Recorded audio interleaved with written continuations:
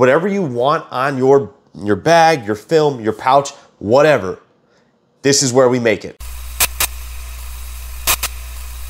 Welcome back to TTO Parts. It's time we talk about message creation for these VideoJet printers. Make sure you stick around to the end because I got a few tips and tricks on shift codes, how to make them possible on this printer. It's stuff they don't teach in the normal training. For the uninitiated, a message or a job, they kind of mean the same thing. I'm gonna switch back and forth while I'm talking.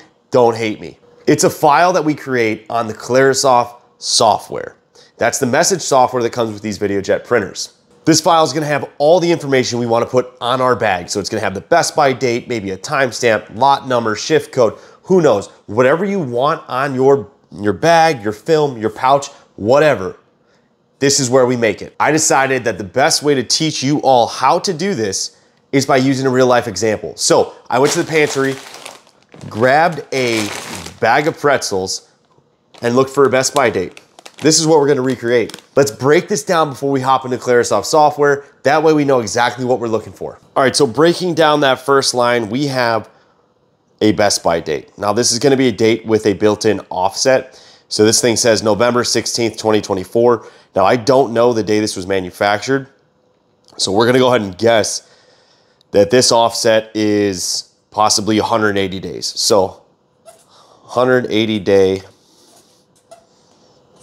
off set. And that's in the month, month, month, day, day, year, year, year format. Okay. Now line two, we've got HA051316 and then a space and number two. This HA051316 looks like fixed text to me. Oh, I apologize for that beeping. this HA051316 looks like some fixed text. So I'm going to say fixed text plus this 2 stands out to me because it's separated from the 16. So to me, that is signaling uh, possibly a shift code. So we're going to put shift code in here. And that's in the 1, 2, or 3. And then finally, that third line, we're just looking at a basic timestamp with no AM or PM, just a 24 hour. Now, if anyone knows this fixed text, uh, what that code actually is, go ahead and drop a comment below.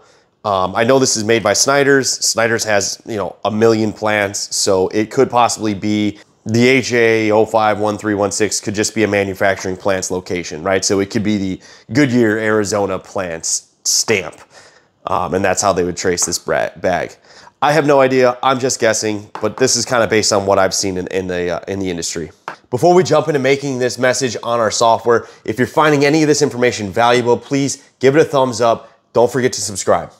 Starting up in Clarisoft, we're going to go to File, New, and here we're going to pick our printer. Uh, I'm going to pick a TT1000 53 millimeter printer. Then we're going to go to View, and I want to zoom in. Uh, I'm going to zoom in twice because I just like to be a little bit closer. And now it's really easy to see uh, on the top here, we've got a 53 millimeter margin, and down to the bottom, we got 75. 53 is the width of the ribbon, and the 75 is the length of its stroke, how far that uh, carriage will move. First thing we need to do is go grab a date. So we're going to click date, drop it in there, double click on it, and we are going to go to the format, hit the drop down, and look for one that we want. Uh, remember, we're month, month, month, day, day, day, year, year, year. All right, then we're going to go to advanced. We're going to get rid of the year, year, because I didn't see the formula I like. Um, and actually, I want to get rid of the forward slashes as well, because that wasn't in the format.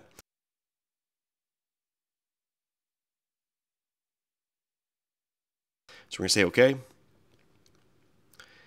Ah, I see I made a mistake, right? So we needed month, month, month. I only selected month, month. So let's go back into advanced, remove month, month, and then look for the three M's. Add that, and then we're going to move him all the way up to the top. Check this format. That's much better. So we'll just throw him in the center. We have the format right, but we don't have an offset on here. So we're going to give it a double click and we have to go to the date type. Now there's a few different options. You can do user entered, so this would pop up a calendar. Uh, every time you select your job, a calendar. Every time you select your job, a calendar would pop up, and you would select the best by date. So I'll kind of have to do it by users. So I'm going to show you that. It didn't really change anything.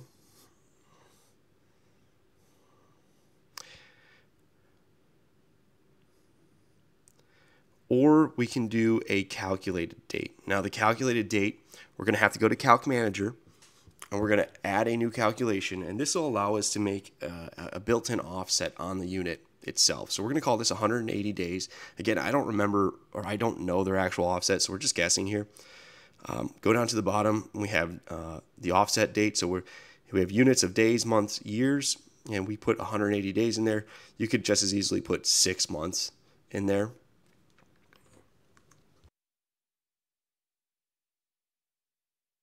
Nevertheless, we're going to put 180, change this back to days, and move on.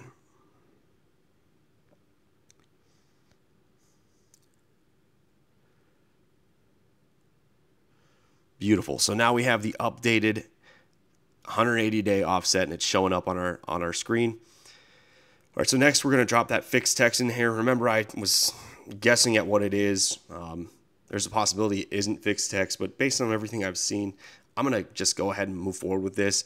If we were creating something with a customer, we would just update it when we got there once they told us the, the correct information. All right, and then we are going to do, we're going to go to time. We're going to drop our time in there. So remember, there was a timestamp on the third line. So we did skip that second line, but let's just get that timestamp in there, be done with it. Next, we're going to drop a text box in there for our shift code.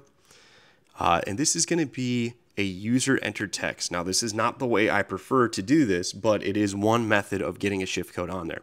So our prompt is going to be shift code. Now, what this means, you know, we're going to add a fixed length. Uh, that way they can't write the incorrect shift code. Okay, I get this error because the default text preview has more characters than what I set. So we got to change that uh, just to a one. We'll move this in place. But like I was saying, this is not the ideal. Uh, every time the uh, every time this needs to be reset from shift to shift, somebody's going to have to go in here and change this.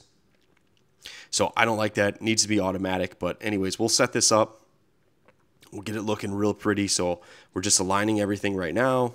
I'm going to move the shift code out. Get some spacing in there properly, so make it center. Beautiful. And now if you want to change font, it's pretty simple. Double click, go to the font tab and just increase the font by value. Uh, so we went from like a 10 to a 14 and we're just going to do that for every single one of them.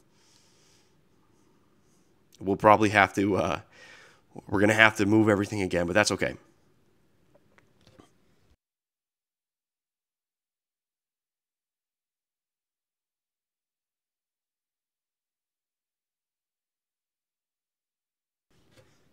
We're going to do a file save as and call this test print.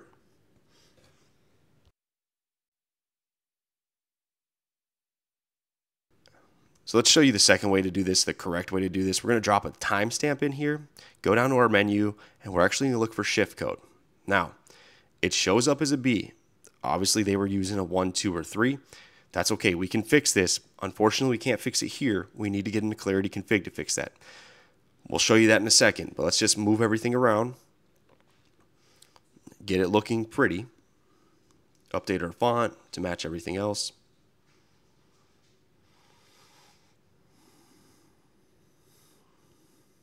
All right, then we're going to do another file save as. Instead of calling it uh, test label, we're just going to call it test label or test print 2. Beautiful. Now, here's a trick. This is really important. Go to your print button Make sure you have your USB plugged in, and we're going to go to print to file. And then from there, we're going to select our dropdown, find our USB disk. We're going to we're, then we're going to select current image and save it. Now, this is super important. We're going to do this for both of them. But why this is so important is this will properly save your file to your thumb drive with all your special fonts, if you have any, your special graphics, if you have any, and your special job information.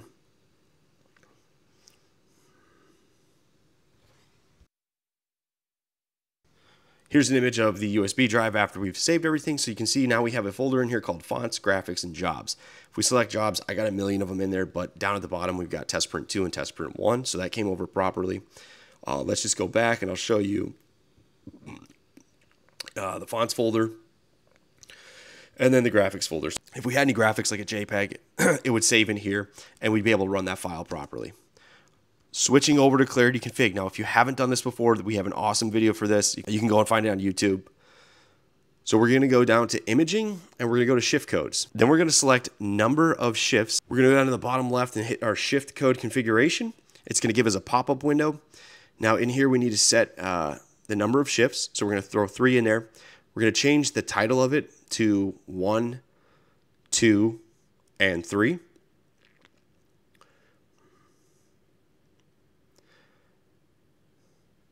And after we do that, we're going to update the time. So the start of first shift is going to be 8 a.m. Uh, this thing doesn't want to work with me. So 8 a.m.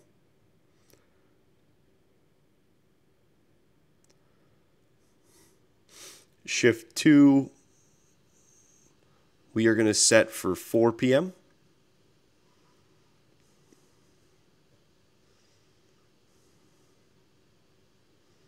And then shift 3, uh, midnight is perfect.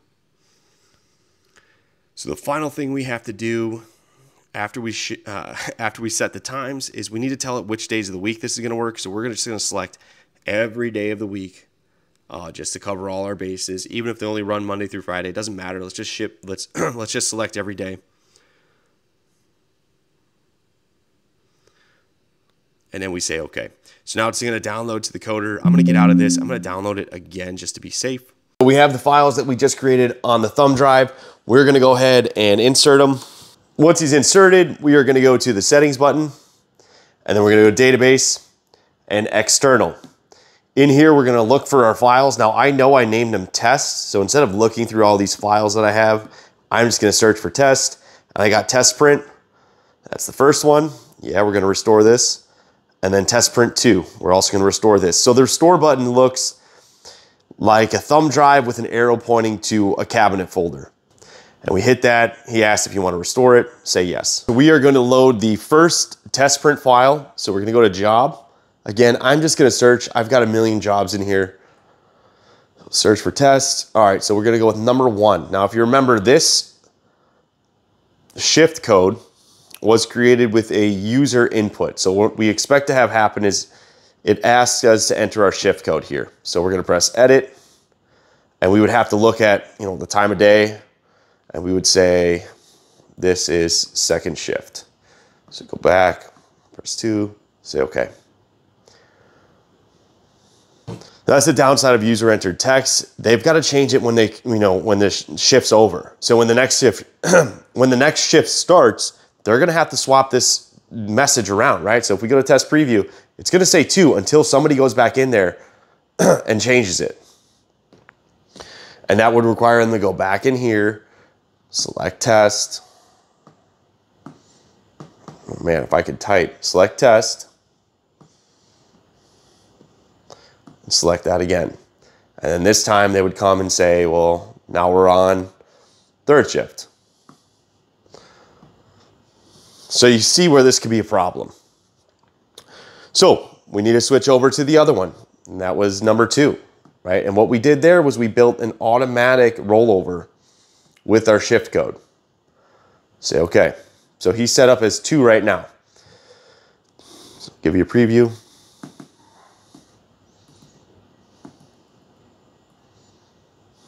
Okay, now let's do this. Let's go to our clock. So we're gonna go to settings, setup, control, date and time. And I'm just gonna change this. So it's set for nine o'clock PM.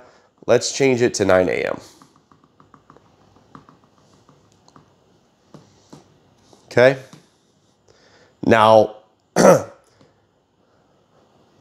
preview is the same, but if we go in here and we go back and reselect this, it'll update. Now, I know you're thinking to yourself, hey, those two are the same. You had to go back with the second one and, and change it after you change the clock. And that's true. But if I had my cassette here, which I don't because I forgot it in my office, I apologize. Don't hate me. Drop a comment below and tell me how much of an idiot I am. Uh, if I had the cassette, I would just run a print and after it printed once, it would update the preview.